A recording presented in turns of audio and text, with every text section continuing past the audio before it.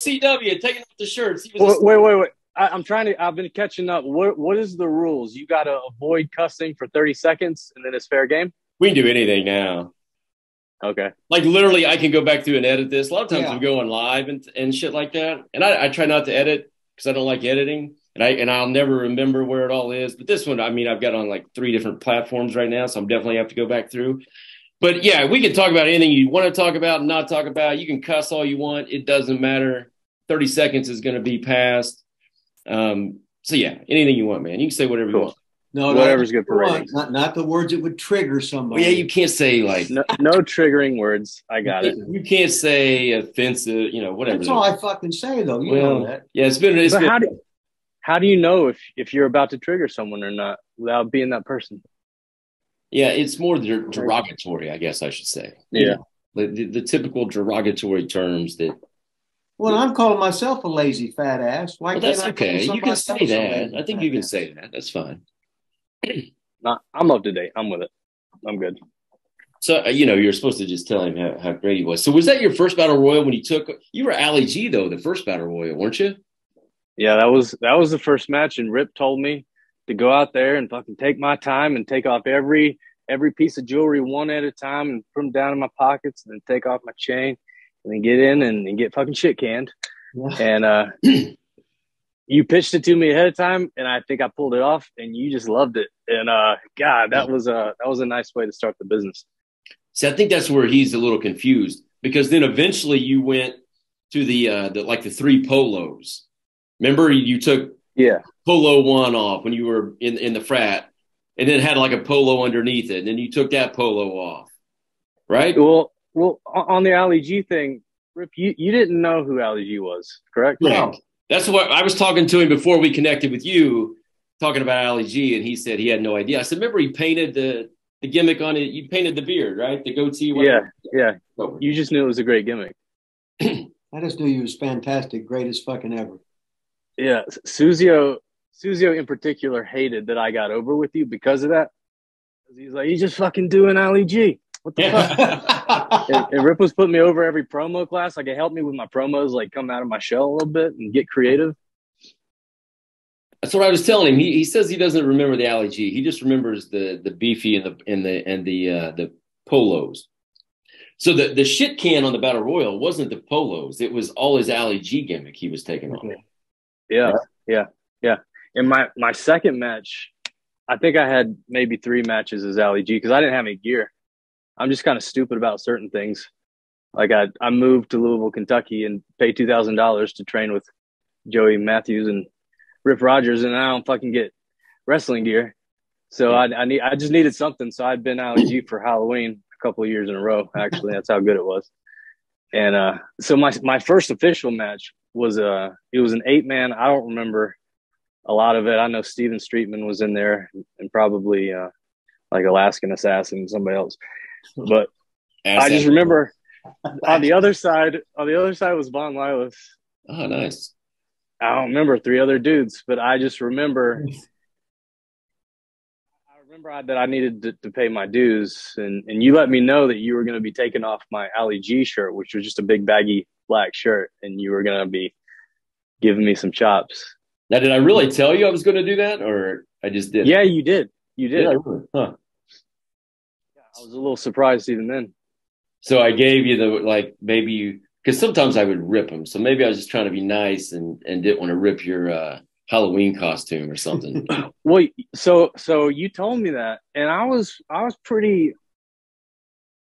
My life is I'm pretty much embarrassed of everything that I do. So I was doing the Ali G gimmick, but it was like a facade where I could not be me at all, and I could just be a character. And you told me you were going to rip off my shirt, and I was kind of nervous about that because I didn't want anyone knowing that I was doing this dipshit ass gimmick. So I asked you, you would pull my shirt over my head so that I could put it back on and not lose my shirt because I didn't want anybody to see, you know, as little of me as possible. you don't want to show off your body. Right. And I, I posed as something like, I don't want anybody to know I'm in shape. And uh, how'd that how'd that go? How did what I what I say to that? well, you gave me a look like you wanted to chop me. But uh, you said all right, and then and then uh, and then and then you did it in the match. You didn't you didn't destroy my shirt or anything. You just pulled it over my head. You lit me up a few times, and I was I was able to save what dignity I had and crawl back out of the ring, and that was my first spot. See, I am a nice guy, man. I got everybody always called me an asshole. I was a nice guy. Look at that. You just asked nicely I would leave your shirt on. I said, sure, man. Anything for you, buddy. You're a new guy here. Yeah. New guys, I, I, I can do that for you. Put your shirt back down. I might have even tucked it in for you. Who knows? So, point being, if if you wonder why the business is the way it is today, I think it started in that moment when you let me get away with that. it's my fault. I love it. Uh, hey, I'll take it, man. I was gonna if I if I prepared for these kind of shows like I should, I've got a picture from that match somewhere. Somebody sent me a picture. I have to find it and send it to you. Somebody, we're outside of the ring, actually. I think it's from that match, or it might be a, a battle royal, but you're definitely Ali G. And we're either right on the outside of the ring or against the ropes. And I was either lighting you up or just got done. But it, it was a good picture of, of me and you, though. It was good. I, I do remember that my do rag had come off, and I was embarrassed about that as well. It's fucking Dylan. Yeah, it was wild. So how how long did that gimmick keep going before you? It, it was probably it was probably about three weeks, and then I think Marty had come up with the with the with the frat gimmick. Theta Lambda Psi. You remember Marty the in the control room? Oh, he came up with your gimmick. Right? That was his baby, apparently.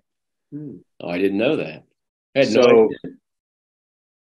Streetman wanted us to be called something that that uh, came out to Cox, so it would spell Cox. Oh, so yeah. we could say Cox rule and do that gimmick. And, and Marty Marty wanted Theta Lambda Psi so that would so that it would say OVW. So we ended up as Theta Lambda psi. That's when I did the, the, three polos, and I I learned from my Ali G experience to the more shit I had on, the more I had to take off. I guess. That's wild. So t- so OVW was your first. Was it your first place you went, or DCW, whatever you want to call it? Yeah, that's that's that's where I came. I decided I wanted to do it, and I did a little research, and it was there, and it was Atlanta. And then you picked OVW. So, uh, do you remember who you talked to first, or, or I mean, you didn't start out. I'm trying to think at that time. Rip had DCW. Was was the contract still there? Yeah, contract was there. So, were you in the beginners class then? Rip, you you were doing intermediate class, I believe. Yeah. Plug my computer right. in. Uh-huh. Yeah, probably at that time. Who was the beginner teacher? Oh, so uh, you guys had Tank on last night. Yeah. Yep. T- Tank was my very first teacher for like two weeks. Okay. Oh, really? H- him and Seth Skyfire. Oh, right. And uh, I-, I ran the ropes for the first time, and and I, I have some athletic ability, I guess. So I, I ran him for the first time, and I thought I was going to fall out of the ring. But Tank looked at me and said, "You ribbing me? You worked before?" Said, no. so Tank was there for two weeks, and then and then Joey Matthews took over the final, probably ten weeks, I guess, okay. of the beginners class. You do all the uh, all the calisthenics and stuff, then, huh? God, he beat the shit out of us. Yeah. I remember we'd come in for like a show or whatever, like you know, back to Davis Arena, you know, to meet up, to to leave or whatever. And I remember Joey had have you guys, or maybe you weren't in the class at the time, I don't know, but like out in the parking lot doing squats, like running around the building or the parking lot or whatever. I was like, good lord, man. Yeah, we do we do over a thousand squats in a given day. Be like 90 degrees outside, and he'd have, he'd have them outside doing all, all kinds of shit in the parking lot. Yeah, he'd, he'd have us there until you guys would show up after us, just just to have us do another 500 squats in front of you. Oh yeah, I bet we were coming to class, probably, weren't we? Is that what it was? Yeah, yeah, yeah. That's yeah. That was wild. I used to give him so much shit about that. He he didn't. Obviously, he didn't care. But well, he always had a chip on his shoulder, and, and he he would tell us. He said, you know, you might not be the biggest guy, or you might not be able to cut the best promo, but no one's ever going to outwork you. I mean, I love Joey. I just gave him shit. I got to know him pretty well. So he was kind of booking, you know, there when the contract left and we were doing all the, the, the house shows on the, on the weekends, whatever for OVW. So I got to know him pretty well. Would ride with him to places and stuff like that. So I, I'd, I'd fuck with him. Um, he, we were, I feel like pretty cool or whatever. But um, he was one of those guys that wasn't the biggest for sure. But man, he made shit look real, and he had that mentality that he was like a badass type of guy, man. Like he and he made everything look good, and he was convincing. That's for sure. He intimidated the shit out of me. Really good. Yeah, yeah. Joey Yeah. was he he was good, man. I haven't talked to him for for a long time. We used to keep in touch a little bit, but haven't uh, haven't seen him. I just remember one one show where he he started feuding with Blair. Remember uh, Blair Anthony Bravado? Yeah, yeah, yeah. started feuding with him, and I remember there was a show that Joey took a chair, or uh, Bravado took a chair that Joey blocks it, wrestles it away from him, turns and hits him with it. He gets in the back. I'm like, oh, real, real nice, Joey. Like you just blocked it from a freaking stud bodybuilder, took it from him, hit him over the head. Way to put yourself over, just giving him all kind of. He, fuck you. He, he didn't care. He was awesome, man. I love that. It was shit. probably the Six Flags show. Is probably why he did it. Could have been. So then uh, you got in with you guys did the Theta Lambda Psi. Then you started doing. What, what, when did you finally ever get gear, man? I mean, what took you so long to get gear? I can't believe Rip and those guys let you go so long without being a fucking wrestler and showing your body off and and doing all Well, that. hang on. Did, did didn't you wear uh, baggy jeans for about five years or something? I didn't look like you though. I, I mean, I had skinny legs. They're still skinny or lean legs, as, as uh, Twinkle Toes used to say. I wore baggy uh, baggy pants. Yeah, I did for a while. I was a fucking school teacher. I, I wasn't Beef Wellington, man. Like, yeah, Well, those those little plaid shorts that I had, those are pretty small. So yeah. that that was actually that was a pretty good gimmick. I wished I'd try that one again at uh at FCW. Did, did you ever take it there? Did you ever try it? You didn't try it at all?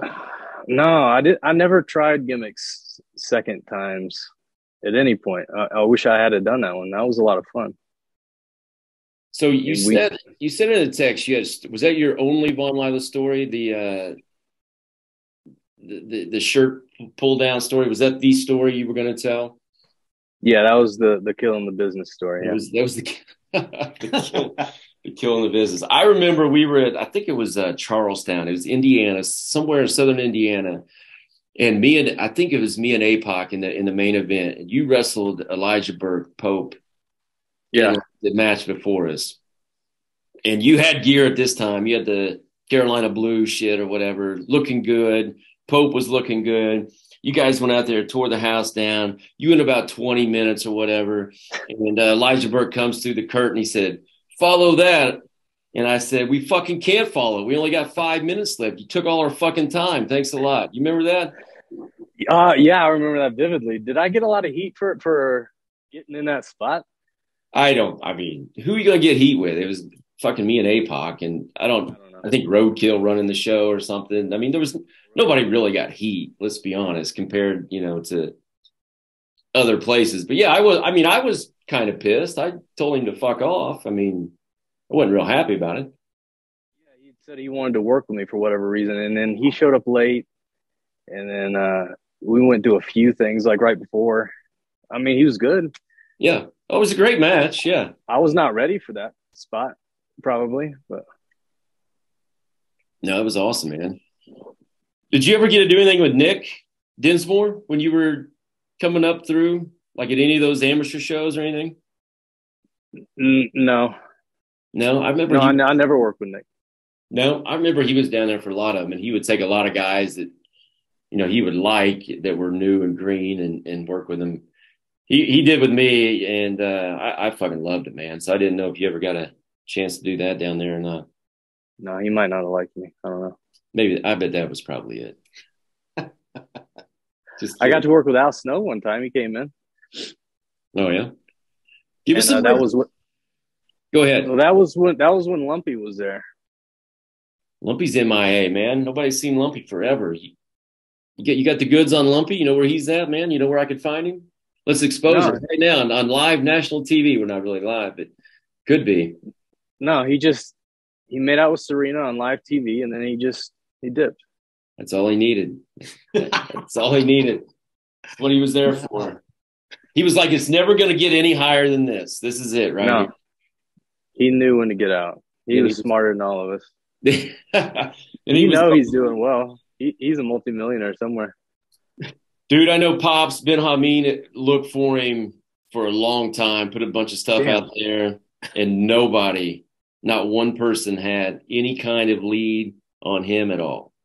God, he's just a, a leaf blown in the wind, huh? Disappeared. I remember at one of those amateur shows or whatever. Um, I don't know. I don't think it was against you guys, but I was against Lumpy. It was another like eight man tag and whatever. And I, I think I pulled the shirt up or something and did the back rake, and he started bleeding from the ba- uh, back.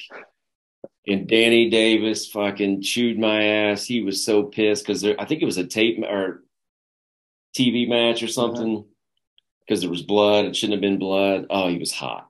Danny was so fucking hot. Did you have to go home? I don't think he sent me home. No, I was probably I, I probably drove Rip there, so I could. I, could I mean, like- This was TV. I mean, I did, you had to you had to wrap the match.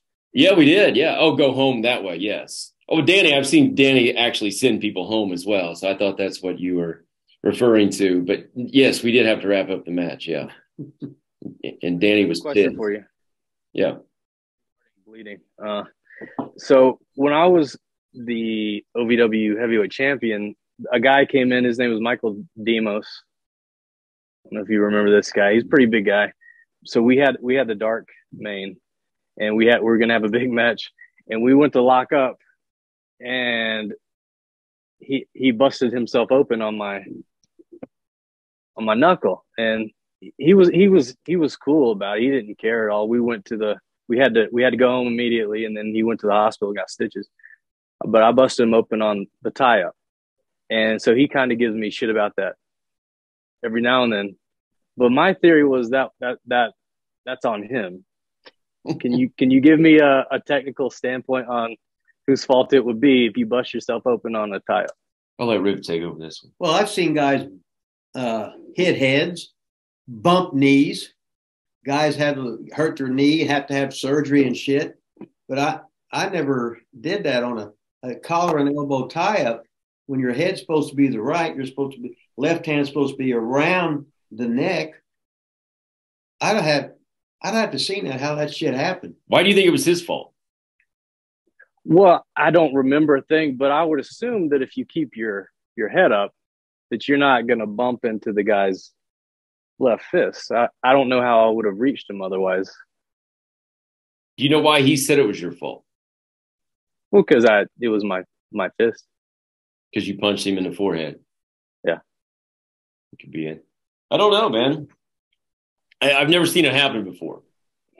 i thought somebody would back me up someone with some technical prowess rip rogers god damn it i'll take that i'll take the heat after 15 Okay. years i'll take the heat so far, I, I am the uh, I, I'm the reason that his career went s- s- sideways, and and you won't back him up on the on the blood spot, man. Tell you what, come on, Rip, turn that thing off, man.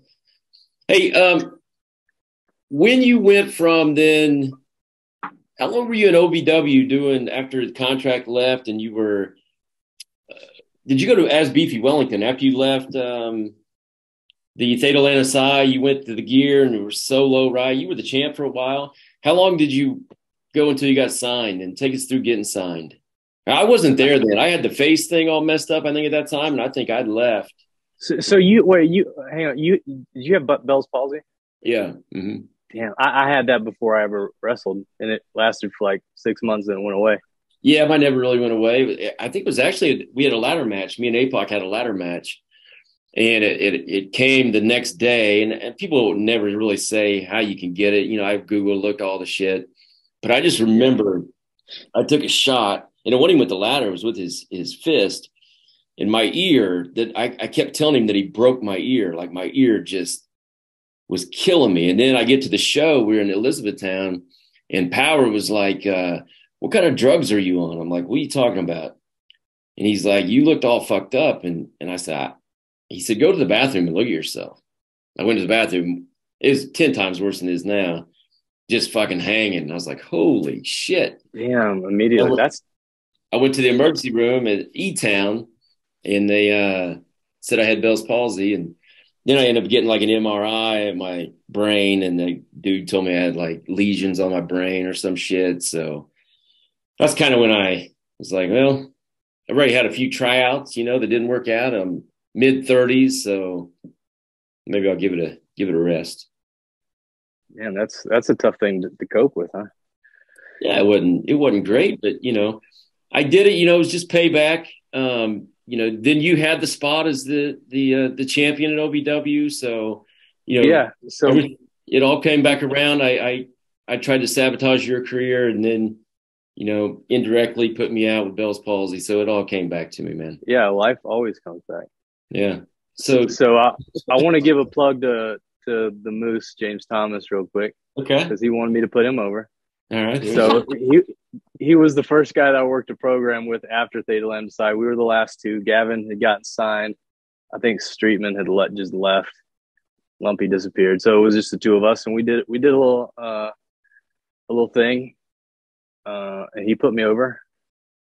Or you know what? I put him over. I put him over more often than not. Yeah. But I'd won I'd won a battle royal when he was out of town and he was a champion. So I Probably the first guy to ever win the championship without getting the belt. So you oh, wait a second. He was out of town. He was out of town. I won a 30 man battle royal. Threw the last guy over, celebrated. So there was no belt. So then we started our program after that based on the fact that I didn't have the belt. Wait, where was the belt? Well, it was with him in probably Minnesota or somewhere. But then how did you win the belt? Because he had to like forfeit the title. I don't get why he wasn't in the battle royal, but his belt was supposed to be like the title was on the line. Yeah, he wasn't there. He wasn't available. So they they wanted uh you know what Bill Carr for some reason was allowed to make the call that he wanted to put the belt on me and he wanted me to be the face of OVW. So then they decided they had to do it right then and there and they had that battle royal. So you won so the title and there was no title. It's like the DCW scholarship envelope almost. You should have brought That's right. There. Damn, I bet I still have that envelope. Big Cat was the champ, man. Yeah, I, I, I feel like I, maybe I won that at some point. Oh, I bet you won that. Well, I saw Moose on Facebook because there's a new uh, Derby City Wrestling in Louisville, and I saw Moose say that he was the tag team champion and got the scholarship envelope. Were you, were you his tag team partner for that? Probably, yeah. I bet you were. I bet you do have a scholarship envelope somewhere. We we probably retired those. Yeah, and then Big Cat is the champion champion because he beat me in the finals of the tournament. So he was the scholarship champion, and you guys were the scholarship tag champs. Yeah, I, I believe we did retire those. That's why we. Well, you might have, but I'm just saying that if you ever, you know, Derby City's coming back. If you ever thought about maybe getting back in the wrestling business, all you got to do is show up in Louisville, Kentucky. I think it, it it goes on this Sunday actually. Show up with that envelope. Tell the dude that's in charge that you are the scholarship champion and you're cashing that damn thing in Sunday, and you'll get right in that thing for free, man. Yeah, all right. all right. uh, Give us some Rip Rogers stories, man. Tell us about meeting Rip. What do you remember about Rip? Training with Rip? Anything? Give us some on Rip here, man. All right. So the first day I showed up, um, I was sitting in, I was sitting in the bleachers, and practice was about to start. And and Fang and Sonic were the first two in the building, and they came up to me with their hand. I, you know, I was green, obviously, and they came up to me with their hands out, and they treated me like I was somebody. And I was like, "Who do you think I am?" And, and that's when I, I kind of quickly learned that you're supposed to show respect. And then and then Rip came in, and I was nervous as hell. And I and I called you. I said, "Hey, Kip, how you doing?" And you were saying something, and, and and after a couple of seconds, it sank in, and and your whole look changed. And you said, you said, you know, you look like you look like that cocksucker Eric Bischoff. Yeah, and I could. yeah, and then and then you stopped somebody. You said, "Doesn't he look like that cocksucker Eric Bischoff?" And you started yelling at me. yeah, that was the worst possible introduction uh, on my behalf. So, did he know you called him the wrong name? Like, did yeah, yeah, it, it registered. Yeah. Oh yeah. Did now? Did you not know his name, or did you just? No, I just I just misspoke. Just miss. I've done that my whole life. Just misspoke. just misspoke. So, so, so what happened after that? Anything like days later, weeks later, you guys? I, I believe you forgot who I was by the time I got through Joey's class. Thankfully, oh, yeah. that's you know, and then I showed up as Ali G, so I bought myself plenty of uh, buffer time. between the Ah, bought yourself time through Joey's class. Then you painted the gimmick face and came out and did the promos, and we all know Lit Rip loves those cheesy ass promos in promo class. And then you were back in, baby, huh? Yeah, I used I used to rehearse that that, that those Ali G promos all week long, and I remember I got up one week and I was running through it and I was doing the the, the British accent and I lost my place and I just I just had to stop. And then Rip got up and you were you were talking about how over I was and it didn't matter what the fuck I said because I was uh, colorful and this and that or whatever. You said it don't matter and you had me start over and I started over and I, I hit the same spot again and I just went blank again and I couldn't finish the promo because I just had to rehearse everything. Uh, but I, I always appreciated the, the backing from Rip, regardless of my quality. I was telling him, man. I told you I was telling him before we got on here how Rip always put you over, and he loved you. And he now he's kayfabing the whole thing. No, I can't remember. He said, "I can't remember nothing." Okay, well, so I, I never had a move set, but one of the few things I ever started doing was I started doing the the Dolph Ziggler slap your leg on the drop kick. Ooh, when I when I was babyface, when me and Moose were working. And uh, so I came back and I had a big welt on the side of my leg. And Suzio stopped you in the hallway, Rip, and and he said, and he pointed it out. He said, Rip, what do you think of that? And you just looked at me, and you smiled at me, you said, You're the man, beef. And you walked off. man. Beefy Wellington, the only person that can do the leg slap and get away with it. Rip still puts it over, man. Man, he must have really liked you. Well, years ago, only the English guys would slap. And they did it so good, you could be watching for it and you wouldn't see it. But today's guys, it's almost like a rib, ha ha. Yeah. Watch me football kick. Let me slap, let me make this as obvious. I'm slapping my fucking leg. It is all a fucking rib on the wrestling business. Ha ha ha. Yeah. Now, when you did it, do you think you did it? You think people noticed that you were doing it, or you think you hit No, it was good. I just left evidence every time. on your yeah on your leg? What was that? Lawler used to slap the other person, right? He always slapped the other person. Lawler, yeah, Lawler used to slap the other person, so you were getting double No, fucked there. Like Lawler'd be selling, he'd say, beat the shit out of me. I'd fucking hit him, but he'd slap me in the fucking side. I said, fuck you, motherfucker. You're hurting me. Good rib. Who else do you have any uh, feuds with in um, OVW or DCW? I worked with Jamin a lot. Oh yeah, Jamin was and he, he taught me more about character. he was awesome, man. I thought I thought Jamin was really good. Was Pops there? Ben Hameen there when you were there? Yeah. Yeah, the insurgency. out with your character and stuff I didn't I didn't I didn't work with them a whole lot. because you guys Uh, were heels and they were heels, but I didn't know like in promo class. I know he he was always trying to help people with gimmicks and promos and and all that kind of stuff. No, I don't remember, but we worked with the mobile homers for like a solid a solid year, I think. Man Beast was in our uh, live chat today. Doctor Doctor Man Beast. Those guys were pretty good, huh? Yeah. God, his uh his ability to improvise. Lump, Yeah, so- Lumpy Lumpy uh he showed up with red boots and he got put in a battle royal and Manbeast was on commentary and he asked him what his name was, what he wanted to be called. And he said, ah, I don't know. And he said, All right. And he came out and he called him Lumpy Magoo on the fly. Did he really? That's how that started. That's that that was the creation of one of the most over characters in the history. Yeah. Of Derby City Just Wrestling. Serena and left. Yeah, Beast. I remember Beast. Well, we, we just had it on here. So my brother wrestled one match at his school, and um, my brother's like, Six foot 12. yeah, six foot twelve is what we say. Big guy, and uh, never wrestled, never been in a ring for in his life. We wrestled against uh, Power and Man Beast, and Beast had him in there doing all these. Just had him stand in the middle of the ring.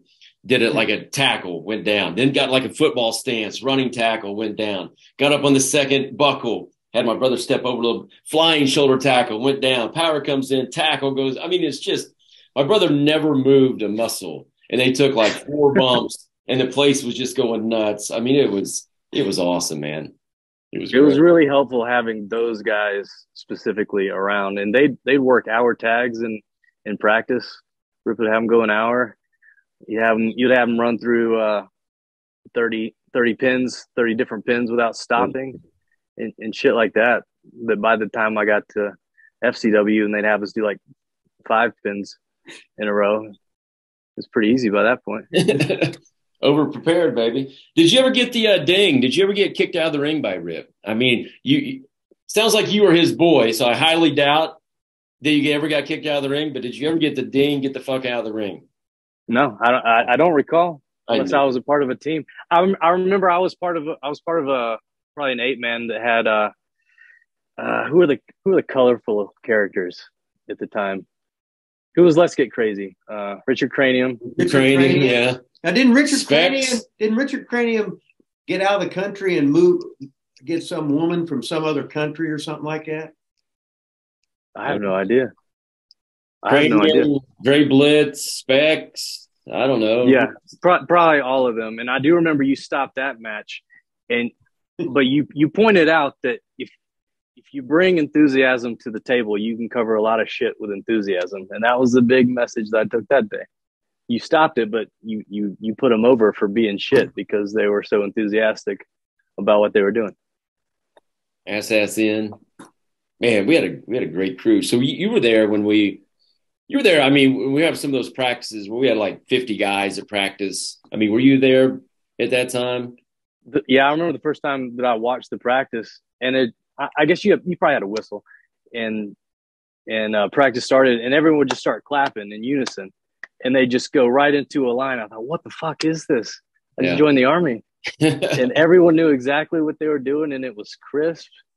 Um, yeah, we started around the road. We did crisscross first. We always did we did the crisscross and we do like the uh, the blow up drill or whatever and yeah it was uh, yeah I, I know everyone puts over your training obviously i don't need to repeat all that but i always i appreciated the combination of structure but then the creative freedom that you gave us like when we chain wrestle for an hour. I remember being a little bit nervous about that but then you just do it so long that you just drop into it and that's how I learned to sell creatively because I just started having fun with it because you weren't going anywhere for a little while.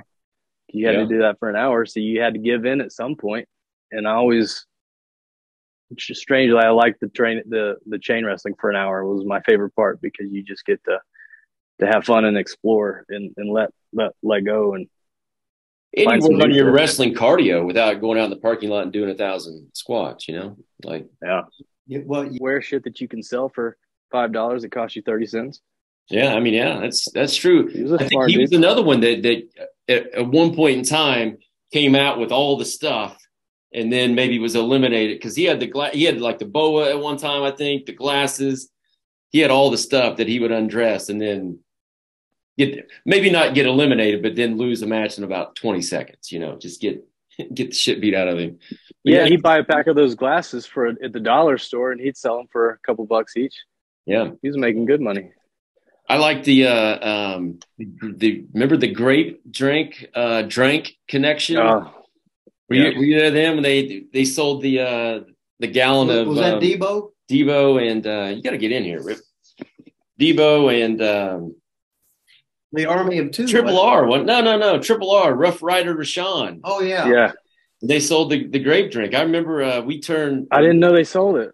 Yeah, they, when we do the, when we would go to the uh, weekend shows, the spot shows, they would take it, but then they turn like heel or whatever. So me and APOC had turned babyface. So we went and stole so we could make money. We stole their gallons of grape drink. So then at intermission, we sold their stuff and then we split we split the money. so that's how we got got through through that. That was awesome, man. Yeah, we just took a gallon in the paper cups and then sell it to the crowd at, at intermission. They should have sat out front with a little like a lemonade stand. Oh yeah, it stole awesome. coming in the doors. that that would have been great.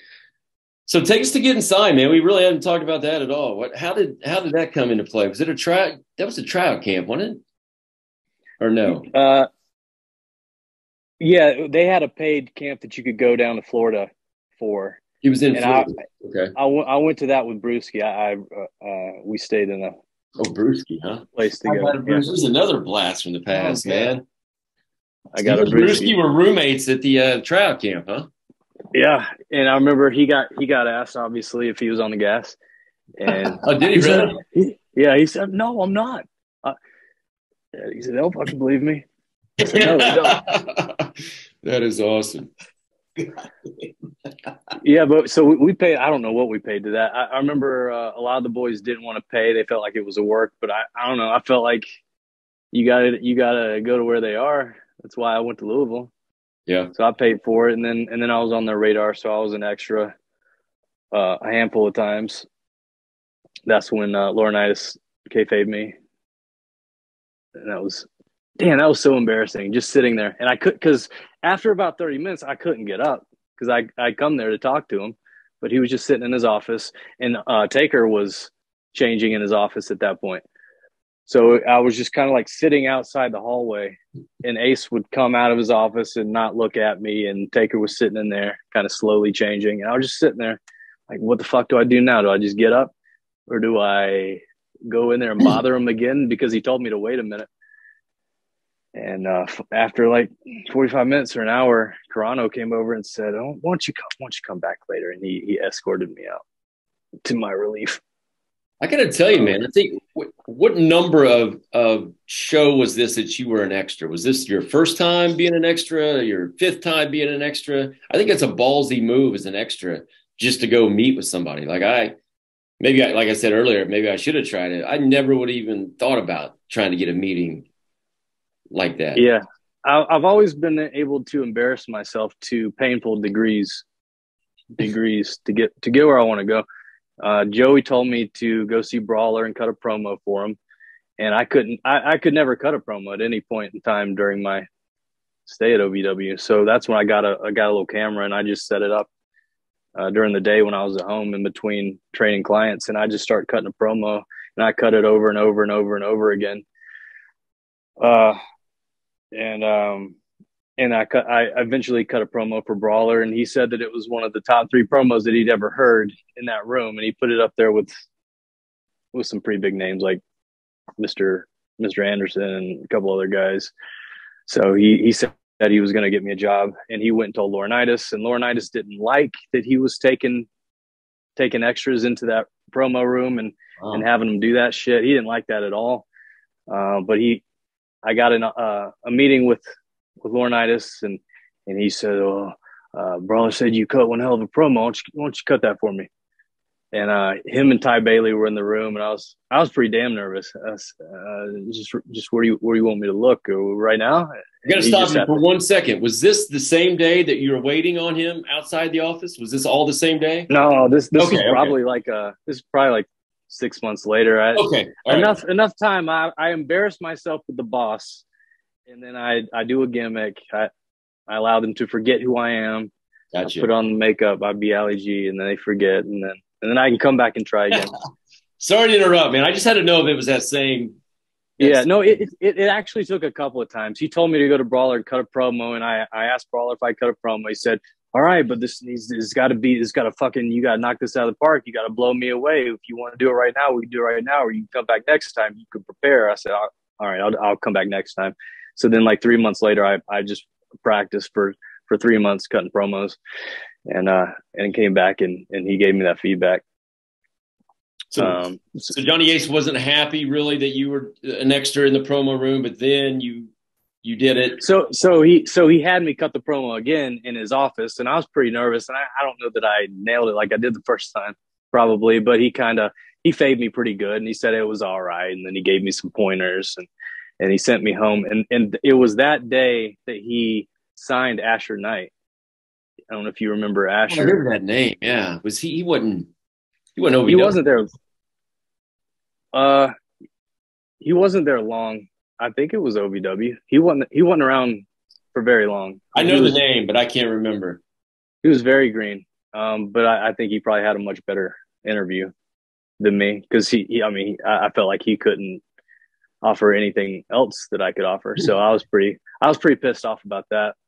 Uh, but then I just went back to work and, and forgot about it because they weren't going to be back in town for another six months. So, uh, uh, so then one day out of the blue, like five months later, Ty Bailey calls me up and he says, "You know, we were thinking about that promo that you cut in, in Johnny's office that one day, and And I was thinking, you you you were just thinking about that promo I cut six months ago. All right. And he he yeah he offered me a contract over the phone, and Holy shit. I was able to kayfabe a little bit, and he asked me if I was excited, and I said yeah, and uh, gave me like two thousand dollars to move, so moved to moved to Tampa. That's when I was putting on weight. So my last, I, I I'd stopped working for a little while. And my last match at OVW was Mondo and Moose and me in, in a triple threat, and I put on like twenty five pounds just trying to just trying to add weight because I was slimming down. Yeah. Brewski said I looked like a tennis player at one point. so uh, that got me motivated. So I started putting on weight. In, in my my last match, I jumped off the top buckle and I landed and like wrenched my knee a little bit. So uh, so I didn't work again after that for a while. But then I moved moved to Tampa. And... So when they when they actually called you to offer you, were you were you not wrestling at OVW then at that time? Was that after you had jumped off the top rope or whatever? No, no okay. So I yeah, I was working regularly.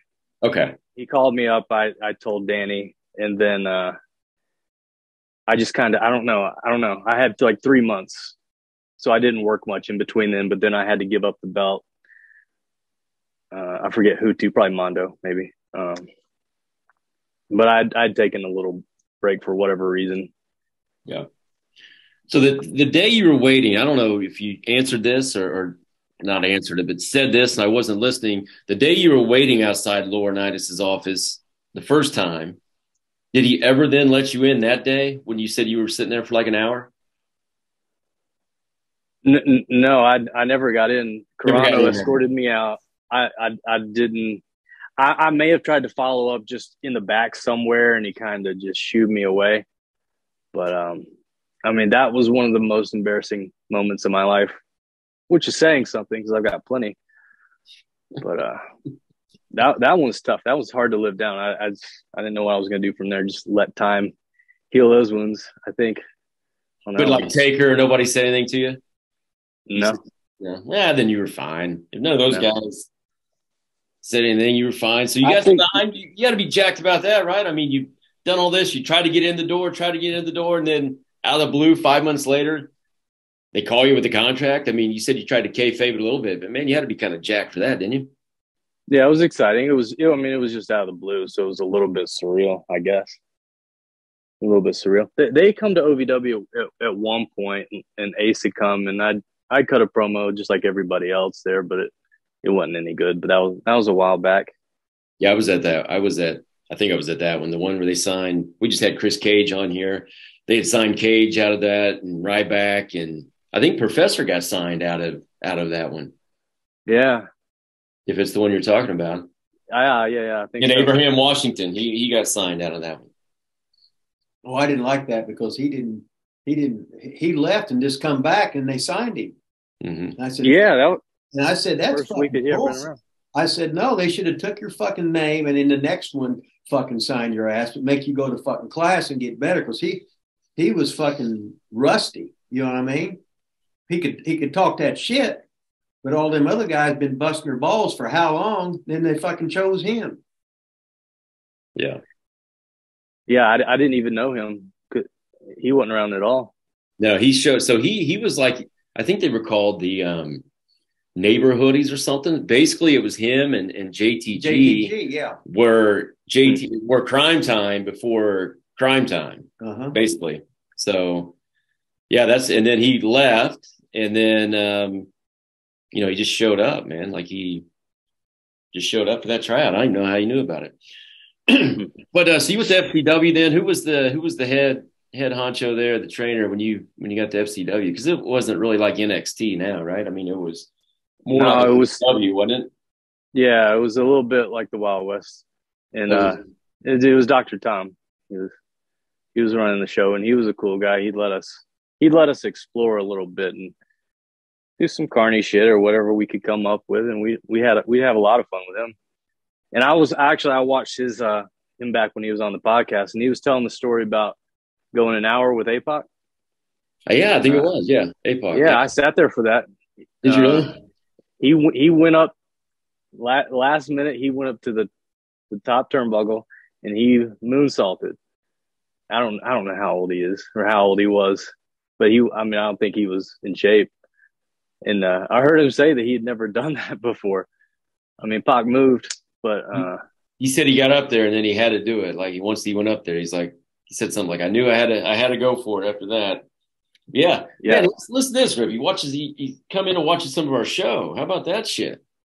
Thanks, man. Somebody's got. Yeah.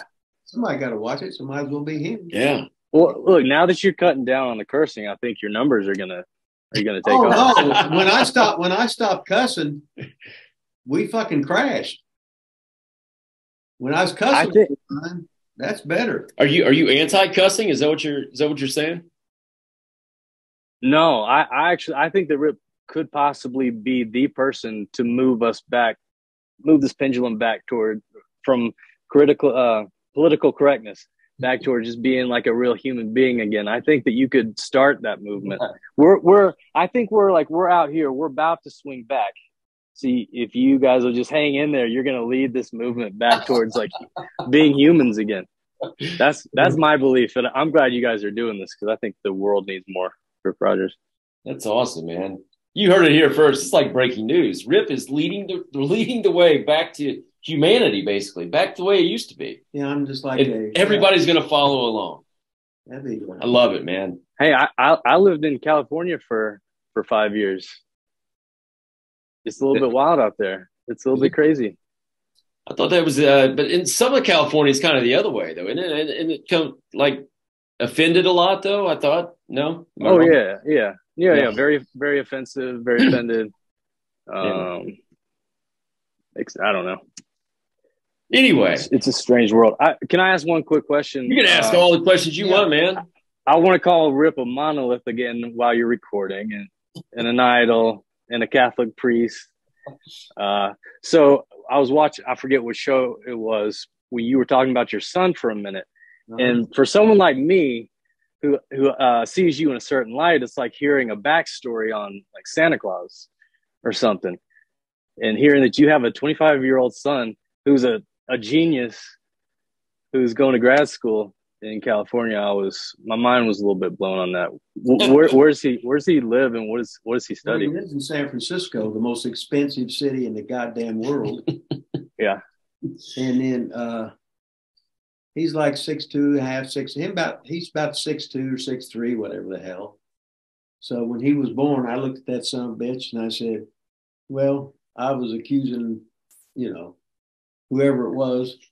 I said, No, no, he's mine. I looked just like that when I was a kid. So what the fuck, right? Yeah, I never met him. I knew, I knew of him, but I, I don't think I ever met him. What, what is what does he study? Acting, voice, Oh, theater, and okay.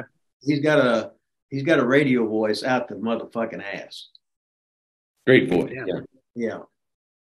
And That's awesome. Well, I mean, if there's one place that's worse to live in than LA, it's it's it's got to be San Francisco. Well, Oh, why, yeah. why is he? Why is he in San Francisco? He's at the Academy of the Arts, whatever it's called. Uh, Oh no, I was there and fuck every, every hustler there is trying to fucking take your fucking money. They got their beds on the fucking sidewalk.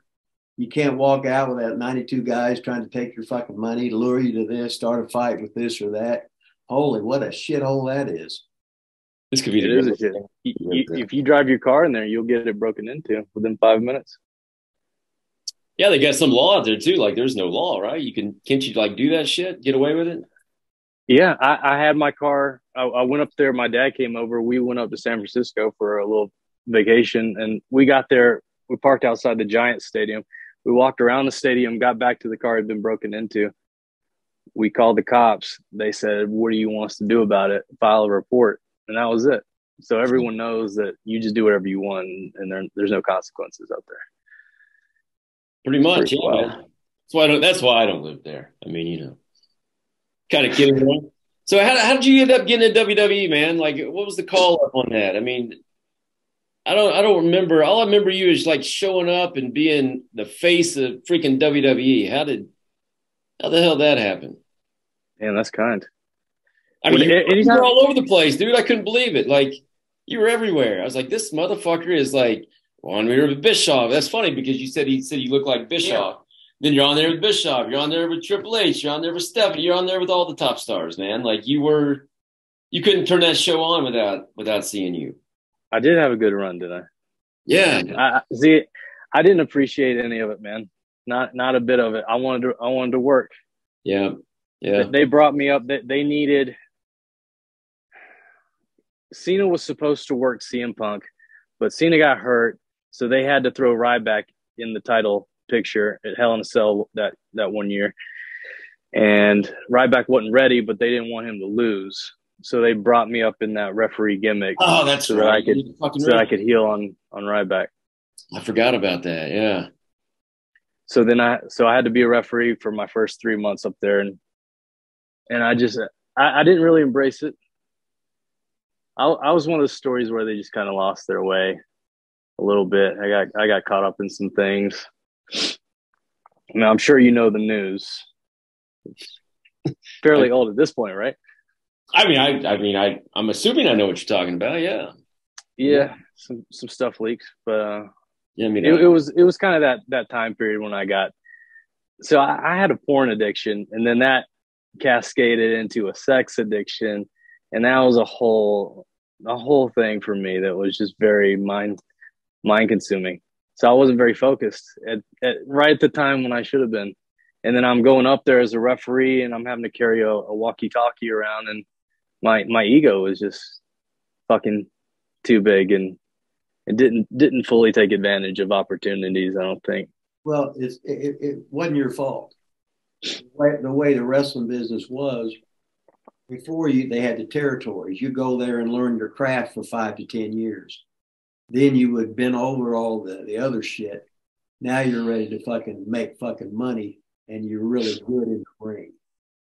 They're not hiring guys off the street or who's or from uh, uh, OVW wrestling school or whatever. No, they they were they were five to ten year veterans of of 300 matches a year. You could work babyface, you could work heel, you could be any fucking character. You were so overqualified for the job when there was a territories because there was a there was 800 wrestlers in the states working full time every fucking night. Then all of a sudden you go there and you hadn't been on the road. That's why I was throwing so much shit at you guys of how to because they're going to look at you guys. You guys are young and you got potential. And you know your basics now we can if they do all that and they're in shape they're obviously got a good attitude and then hopefully uh, you can learn because i was just throwing shit against a goddamn wall trying to make you guys uh, realistically you didn't have a chance so i can throw all this shit at you so you can be overqualified for certain things and when you get up there you'll get some confidence going god damn i'm better than these fucking stars and a Yeah. lot of the guys that, that had been in, been down there for years, they were better than the fucking stars. But they got heat on themselves because the stars knew it and they get mad at them because they were better than them. Such, Uh. is life. such is life. It's catch 22 no matter what. Yeah. You know, I, I, I really wish that you'd taught us a few more moves, Rip, because I didn't I, I didn't have a move set. you being I- serious? I'd work- You're being serious. Are you being serious? No, I would uh when when I would get on house shows on, on the full loop, uh, whoever I was working, I was always heel. They and they'd tell me about all their moves that they were going to do in their sequences, and then they'd ask me, "What moves do you want to get in?" And I would always say, uh, I, "I don't have any. I don't have any moves. Uh, we'll do whatever." And and they would either they would either look at me like I had two heads, or or like I was a complete fucking jobber. But I, I, I never, I never developed a move set ever. I never taught moves. it's about working, not moves. Yeah. Yeah, today I mean, I know you guys, you guys talk about this all the time, but I'm more interested in, in character right. shit, anyways. So that that's what it kind of intrigued me about you became this character. Like you were the, the like the raw GM, and you know you said a little bit ago, you know promos. You were you were rehearsing, you were rehearsing, and I think you might have even said you were you know a little uncomfortable one time doing promos. But th- then what's it like going and being like the promo guy, like GM at Raw and stuff? And I know you said you didn't really embrace being the referee. But how about transitioning to the next part where you're speaking all the time and the camera's right on you? Were you nervous at all? Did you like that? Did you embrace that? How, how was that for you? I, I didn't like it as much as I should have. I mean, it was it was a huge opportunity. I, I hear you, Rip, talk about being grateful for every day and every moment and all that shit, but that is that is such a mindset thing that if you don't have that, there's no amount of goods that's going to make you happy. So when I got that gimmick, I, I mean, I was it was cool, but I, I still wanted to work, and I was still not really embracing it. I don't think, and I don't think it was nearly my best promo work, but uh, I did. Uh, I did get to stay up because after I did the the gimmick with Ryback and Punk, they had me go out and cut a promo. Vince had no idea who I was uh, or anything about me, and that was in Manchester. And so I they just had me cut a promo, and I was I was pretty nervous, but luckily that that played into who that character was supposed to be as, as an amateur dream chaser. So I, I, I hit I hit that one well enough that Vince wanted. He decided right then, I guess, that he wanted to keep me up and and do more with me. So that that bought me time, and probably eventually that that GM role. So after the uh, the the screw job or whatever, when you were being the referee, is that when you cut the promo, or did you ref more after that? I can't remember. You didn't just become the GM then right after that. What happened right after that match? Uh, well, so Vince offered me the million dollar contract, and and that and so then I wrestled Ryback. The following week, he just beat the shit out of me, threw me in an ambulance, and, and and I didn't come back for two weeks. I was I was healing up for two weeks and then they did this little shtick where I was I was getting another shot at it, and then Great Khali comes out, and oh, I get another shot at it, and Sheamus comes out. I get. I don't remember any of that. I, that all happened. Yeah, that that was uh that was like in November, December that year, and uh before wow. the Great Khali match, I uh I sang my promo. I sang a Christmas song about Brad Maddox on my way to the ring, and then and then he beat the shit out of me and and chopped me in, in the head and all that stuff. So I got beat up for I got beat up for like a, a good two months, and then they uh, they put me with Vickie, which was pretty damn cool. Oh yeah, that's right. Yep. Wow, what was the uh, what was Khali like, man? I I know Nick has told a couple stories on Khali. Was was your match all right with him? He didn't he didn't kill you, huh?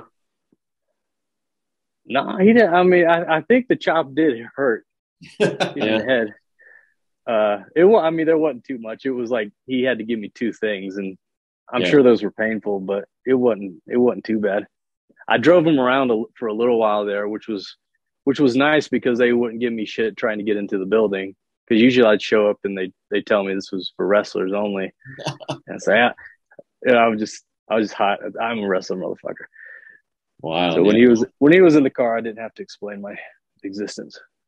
So after you said you, you said you thought Vince liked that promo, so he kept you around, wanted to keep you up. Did he actually talk to you then and, and, tell you some of this stuff going into the GM role, or did you still not really talk to Vince at that time? I was I didn't talk to Vince enough when I first got there. Yeah, I uh, I did not capitalize on that situation uh, until I got sent home for like six months at one point because I was probably too much of a, a distraction in the locker room.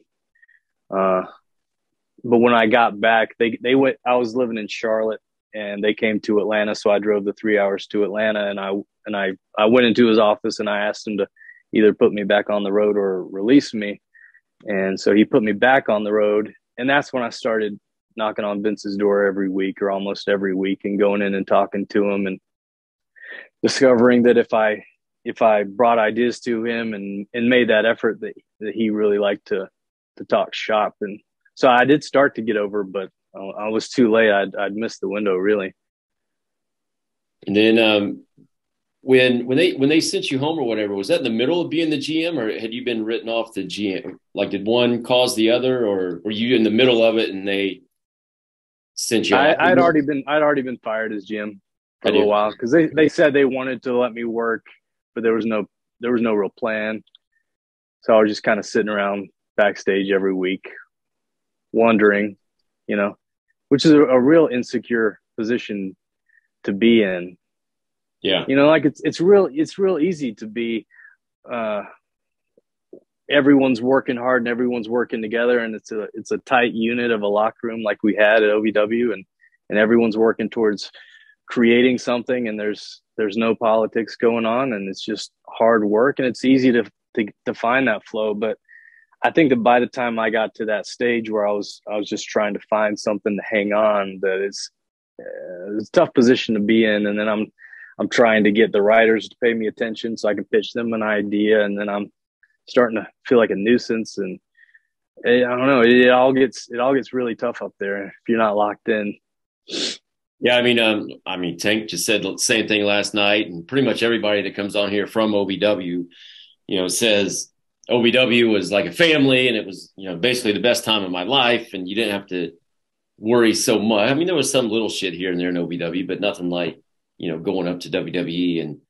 it's the same thing, man. Pretty much everybody that comes on this show says, you know, that exact same thing, and it it's unfortunate, I think. Like, I think it kind of sucks that you finally reach your dream. I was never there and then all of a sudden it's not as either fun or fulfilling or, or whatever. Maybe what you thought it would be is kind of the perception i have. I just think that yeah. kind of sucks man like to hear people say that. Yeah it, it goes it gets tougher but i think i, I don't know. I, I think it maybe just weeds out those who are not as committed as as others. I know some people just don't work out but i don't know. I, I try to believe that the cream always rises to the top at some point yeah. So um, you said Vince, uh, you know, put you back on the road or whatever, and you were going to creative and going to him and trying to find stuff. And what is something at the end though? Did was it something at a house show? Is that why you ultimately got released? Did you? When that you said something to somebody or said something to the crowd? Was that? Oh, so I was just getting in with with Vince. I mean, uh, I've been talking to him for a while, trying to find gimmicks, and then me and Adam Rose were about to do a tag team. We'd gone to see him that day, uh, and he had signed off on it. So we were going to start a little gimmick, and and then I had a singles dark match before the show, and and I cut a promo uh, on my way out to the ring, and I I called the the Indianapolis crowd. I called them cocky pricks at the end of my promo. That's our and, uh, and he he he he kicked me out of the building. Vince did after that one. Yeah, Hmm. And it was a house show, like a. It was a dark match before Raw. Oh, dark match for Raw. Or it was it was before SmackDown because Vince never watches shit before SmackDown starts. So it was weird that he was even watching, but he saw that and, and sent me home. And then the next day, Carrano called me and told me. Cocky pricks. Is that, I mean, I don't know. Is that that bad, really? I don't know. Maybe I'm missing something on that. That well, doesn't seem if like. you're working for that company, they should have the words that they don't want you to say on TV or a house show. Then you don't ever have to, if, if it's laid out in front of you, these are the rules, memorize them, and you're, there's no, you know, you know you're not supposed to say that and you won't. Damn. It's not that yeah. hard. Yeah, but I'm just saying in general, whether they have a post or not, it just doesn't seem like to me it was that bad. I don't know. Anybody yeah, uh, anything else to you one way or the other? Like anybody ever? I mean, did you ever get a feel? Was it they were just looking to get rid of you at that time, or do you do you feel cocky pricks was was like that bad and that big a mistake that you made? It's a great mystery. I don't know. Maybe Vince was having one of his days. Yeah. Or I, I'm sure I had enough heat that it was good enough cause. I know that Vince liked me, but I'm sure plenty of people didn't. So it, it might have been a combination of things. What was it like coming back after six months? Did you, I mean, did you have heat then? Like you just said, like with the, the boys and shit in the back, or what was it? Was it weird coming back after six months, or you just come back and everything's kind of back to normal? I got, I got hungry again. Yeah. Waiting, waiting that long, trying to come up with ideas. Uh, no longer afraid to go knock on Vince's door like I had been you know, you sit at home long enough, you get to think about things. Uh, but I may have overcorrected. I don't know. I'm, i may have bugged people too much. I may have bugged the writers too much. I don't know. May may have been too aggressive. Yeah. I don't know. So we got about five minutes left here, six minutes left here. What? um And again, I can go back and edit this, not edit this. What do you, what? What about nowadays? Any anything after wrestling you want to share? Anything you're doing now? Want to plug now? Tell the people now that you're um you know, out doing this promo. I mean, you know how many people are going to see this? I mean, we have at least 200, 300 people that watch these videos. I mean, it's pretty much worldwide, nationwide. Everybody's going to see it. Anything you want to put out there, plug, yeah. push, anything. You got over a thousand subscribers, right? Yeah, we got twenty, uh, about twenty three hundred, I think. So got got ripped drunk for the first time since I was born. Oh yeah, baby. Yeah. Just got. No, I don't. I don't have anything to plug really. Uh, I was I was trying to do some acting in LA. I, I mean, I still am. I have an agent, and I I wrote a book that we're trying to get published, but that's not out yet. And and I'm I, I I work on writing. I'm trying to cobble together some screenplays, but I don't. I stay off of the grid for the most part. I'm just happy to be here and talk to you guys. yeah, you were you were kind of MIA there for a while, man. MIA, missing in action. I it's, remember it's seeing hard, video on YouTube of, of you in like a in a cave or some shit. I don't even know what it was, and I think that's you know, the last time I think I've I've seen you. I believe that's that. I did that when I was sitting at home for six months, and I was trying to come up with a storyline that I was going crazy. That was part of a, a, gimmick that I was doing for the dot com, but then they didn't ever back me up on it. They kind of ah. didn't use it, and then people thought it was. For, oh, because people said you did it like after, I think, and like like after you got yeah. released and you were yeah. I did a gimmick that I've been I got I was going on vacation and I get I got trapped in a cave in Venezuela or some shit in Mexico or somewhere.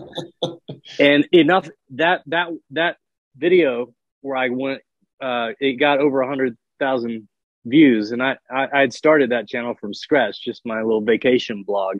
Yeah. It was a pretty fucking good gimmick and they didn't use it. But didn't you reverse your name or something on there? Like uh Mad Braddocks or that was going to be my indie name, but I I didn't pursue that at all. Did you ever wrestle after WWE? I had about two matches. Did you? I had one with uh with Briley or or uh yep. Nemeth and and uh Luchasaurus and uh, Seth Sky Seth Skyfire was out there and mm-hmm. Bronson James Bronson at, at NXT. We had we had one match out in California, but that was about it. Yeah, Bradley. Well, we we were tag champs at one point in uh, FCW, as, as were me and um, Rick Victor. By the way, I wanted to. Oh, that's funny shit. Oh, fuck. Yeah. Fuck. What you taking a jab at me there, huh? Okay. That's I wanted to get my shit in before I left. That's cool, huh? Hey, how many times did I tell you? I said OVW will be the best time of your life. Which was because, and then you look back because there was no stress. Nobody had any money. You just had the guys. Yeah. Went up there, and now you're under the microscope, but you're making money, but you're you're you're walking on eggshells. You can be hired for no reason and fired for no reason, and you got other people. Everybody loves you until you start doing better than them. They're going to stick a knife in your back you think the guy's your buddy and he's not, and and you think the guy's your enemy, but he's really supporting, and you don't even know because everybody's so paranoid. Yeah. So you don't really get to embrace the moment or enjoy the moment, which I knew that ahead of time. That's why I'd always say you're going to look back and see that this was the, uh, the greatest time of your fucking life. Yeah, why didn't you ever get us to listen to you? Because, like, I would not have listened if I was in your shoes either, but I felt better uh, knowing if I told you that shit. Instead, he listened to all your sex stories, Rip. Right. I, I learned from Rip in every facet. Yeah, see? It's not only my fault for the uh, whatever incident we had; it's your fault too. So we're both to blame. Well, I'm guilty of everything. At the wrestling with I'm Rip guilty Rogers of everything. You know that. What yeah. the fuck? yeah, just think if you would have been on like national TV. Well, you're on national TV, but the internet, I should say, Rip. Oh who, my who God. knows? I If you had phones and, and stuff. Who knows what would happen to your career? five minutes. That is No, awesome. well, thank thank you guys for having me on. I I appreciate.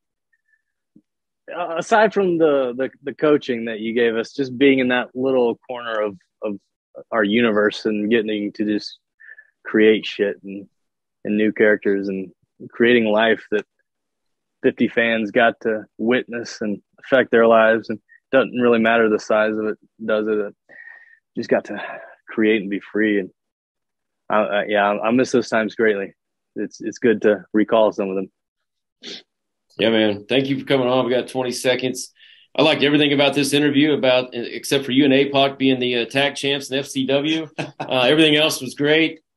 Besides that, this thing's getting ready to cut off. Thanks, man. Really appreciate it. Nice chatting with you. It was awesome today, buddy. yeah man Thank you guys. Thanks. Have a good one, baby. I'll see you.